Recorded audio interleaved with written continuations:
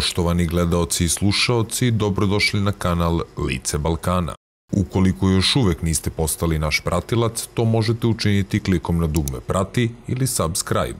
Naravno, ne zaboravite da uključite i zvonce kako bi vam pravovremeno stizala obaveštenja o našim najnovijim videima. Hvala na podršci.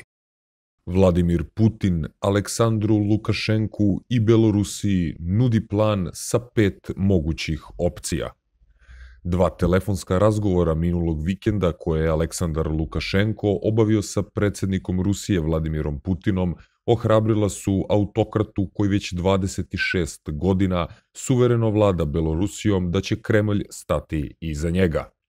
Prvi poziv koji je Lukašenko zahtevao odmah posle silno osporavanih predsedničkih izbora i policijskog nasilja u toj zemlji označio je prekretnicu – iako je taj poziv, kako primećuje analiza CNN-a, prepun geopolitičkog rizika, značajno većeg od pažnje koju kriza trenutno dobija u evropskim i svetskim okvirima, podsjećanje na nasilne proteste 2014. godine u Kijevu, trenutak je koji bi relativno lokalizovani trenutak neslaganja mogao da ubaci Evropu u krizu.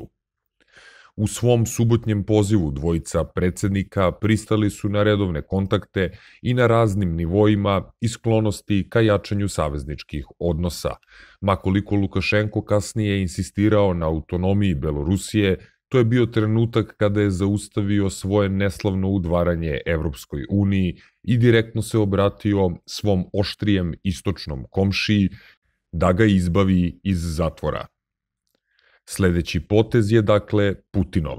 Međutim, on nije ni tako očigledan, ni tako jednostavan. CNN izdvaja pet Putinovih mogućih poteza. Pod 1. Opsežna ruska vojna intervencija. Jezgrovita je, ali prilično malo verovatna. Belorusija je od suštinske važnosti za Putinov osjećaj regionalne bezbednosti. Kao sredstvo odbrane, ona je teritorijalni tampon između NATO-a u Poljskoj i Rusije. Kao sredstvo napada omogućava pristup Suvalkiju teritorijalnom džepu između Litvanije i Poljske, koji je pod kontrolom Rusije, a taj prostor plaši NATO planere da bi Rusija mogla da ga opskrbi tenkovima, odsečući baltičke članice vojne alijanse od ostatka Evrope. Vojni manevri su nešto što Putina čini svojim na svome. On može da računa možda pogrešno da se Belorusi osjećaju dovoljno bliski sa svojim premoćnim komšijom, da Moskva može da oslobodi po znacima navoda Belorusiju od Lukašenka koji se smatra poslednjim evropskim diktatorom. Međutim, to bi donelo dva ogromna rizika. Prvo je to što bi ruske trupe mogle naprosto da podstaknu antivladine proteste. Drugi je rizik od sankcija i zapadnog odgovora, gde bi ruski marš ka suvalki praznini izazvao pažnju NATO-a. Američki predsednik Donald Trump u velikom delu onoga što čini može se smatrati sumnjivom Putinovom podrškom, Putin takođe može s pravom da proceni da Kremlj ne bi trebalo da rizikuje mnogo pre američkih predsedničkih izbora u novembru mesecu. U ostalom, ruska ekonomija ne bi mogla dobro da se nosi sa daljim pritiskom. Ukratko, verovatno se može izgubiti mnogo više od grubog marša ruskih jedinica u Minsku, nego što se može dobiti.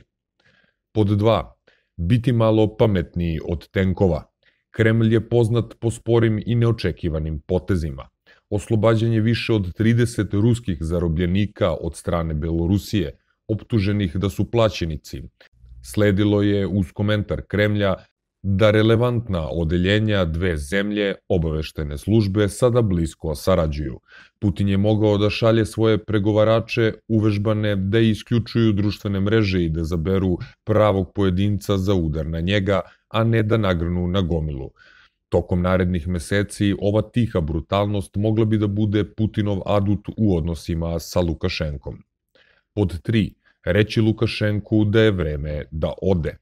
Ovaj potez bi bio izuzetno rizičan. Kremlj bi u osnovi osnažio opoziciju koju predvodi prozapadna Svetlana Tihanovskaja, koja se može nadati da će trajne veze sa Rusijom, za koje je Belorusija intimno vezana i ekonomski i društveno, značiti da će svaka buduća vlada tražiti prisne odnose sa Moskvom.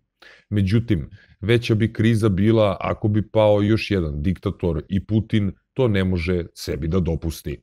Svaka nova beloruska vlada biće prozapadno verovatno orijentisana kako bi gledala prema Zapadu i Evropskoj uniji radi momentalne pomoći.